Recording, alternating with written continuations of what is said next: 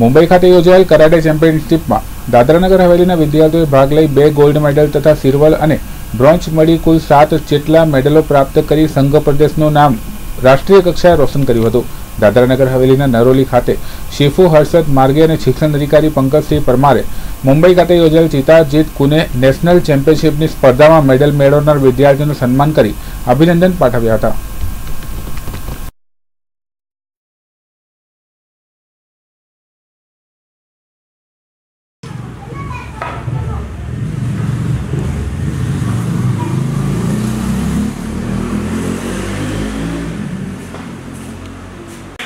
Rathore bronze medal हाँ certificate आप certificate हाँ, हाँ, हाँ,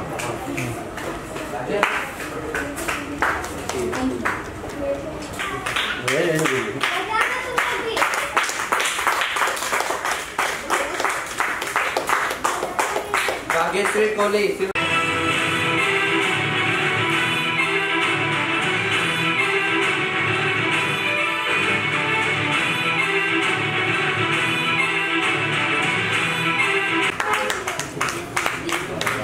આપી દો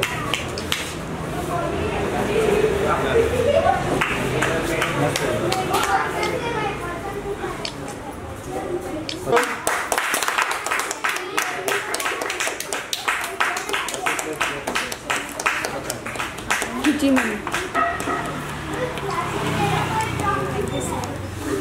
એ બગેટ માટે અને તમે તો તમે તમે દેખના ફોટો ના હતા ત્યારથી હર્ષદ સરને ઓળખું. પહેલાં તો એમનું જે હતું એ આઈઆરબીમાં આઈઆરબીએનમાંની અંદર હતા. અને આઈઆરબીએનની અંદરથી એમની નોકરી એમણે છોડીને પછી એમણે પોતે સેલ્ફ ડિફેન્સ માટે અને જાગૃતિ માટે એમણે ક્લાસ ચાલુ કર્યા. જ્યારે એમણે ચાલુ કરેલા ત્યારે ખૂબ જ ઓછી સંખ્યાની અંદર અને લોકો અવેરનેસ નહીં હતા કે કરાટે શું છે. અને લોકો નવું નવું શીખતા હતા. પરંતુ જ્યારે બેટી બચાવો, બેટી પઢાઓવાળું જ્યારે સ્લોગનને ઇમ્પ્લિમેન્ટ કરવાનું સ્ટાર્ટ થયું અને પર્ટિક્યુલરલી ડિફેન્સ છોકરીઓને કેવી રીતે ડિફેન્સ કરે અને કેવી રીતે છોકરીઓ પોતાને જાતને ડિફેન્સ કરે તેના ઉપર ફોકસ થવાનું ચાલુ સ્ટાર્ટ થયું. અને એમની લગન, એટલી બધી લગન એમને રાત દિવસ એક કરી કરીને આજે જે એમને બોમ્બેની અંદર અમારા સિટી સર કરીને જે છે જેમનું જે આ એસોસિએશન જે છે એની અંદર પહેલાં એમને પ્રેસિડન્ટ દાદરાનગર હવેલીને બનાવ્યા હતા. અને અત્યારે એમની લગન જોઈને અને એમની ધગસ જોઈને એમને ઓલ ઇન્ડિયાની અંદર પ્રેસિડન્ટ તરીકે એમને પદભાર આપ્યું છે અને ટ્રેઝરર તરીકે. અને એ ખરેખર ગર્વની આપણા માટે બાબત છે કારણ કે આ જ સિટી સરે આપણા દાદરાનગર હવેલીના બેટી બચાવો બેટી પઢાઓના અંતર્ગત એક ફિલ્મનું શૂટિંગ પણ અત્યારે હાલે ચાલી રહ્યું છે. અને જેની અંદર આજે એમના વર્ગના વિદ્યાર્થીઓ જે છે એનો કે પણ પાર્ટિસિપેટ અંદર કર્યું છે. અને દાદરા નગર હવેલી માટે ખૂબ જ ગૌરવની વાત છે કે એમના પ્રયત્ન થકી આજે બાળકોને એક સ્ટેજ મળે છે. એક ડાન્સની અંદર પણ એમણે અહીંયા સાથે સાથે રાખ્યો છે, સાથે કરાટેની અંદર બી એમણે રાખ્યું છે. અને એ જ છોકરાઓને જ્યારે આટલું મોટું પ્લેટફોર્મ મળે ત્યારે ખરેખર આપણને ખૂબ જ આનંદની અનુભૂતિ થાય છે.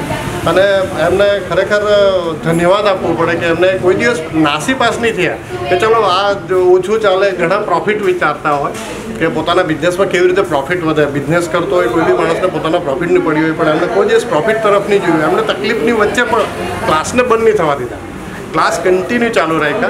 એ ખરેખર અમારા માટે ખૂબ જ આનંદ છે અને ખૂબ જ એમને આભાર બી પ્રગટ કરવો પડે કારણ કે મારા બી કિડ્સ આવે છે અહીંયા ટ્રેનિંગ લેવા માટે. મેં એમનું પ્રોગ્રેસ પણ જોઉં છું.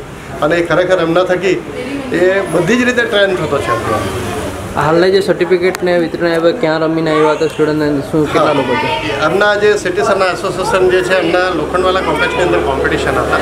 અને તેની અંદર એના બાળકોએ ખૂબ જ સુંદર પ્રદર્શન કર્યું જેની અંદર ઘણા ગોલ્ડ અને સિલ્વર અને બ્રોન્ઝ મેડલ એમણે જીતા અને સર્ટિફિકેટ પણ એમના તરફથી ઇસ્યુ થયા અને એનો પ્રોગ્રામ બહુ ભવ્ય પ્રોગ્રામ રાખવામાં આવ્યો હતો બોમ્બે લોકલવાના કોમ્પ્લેક્સની અંદર.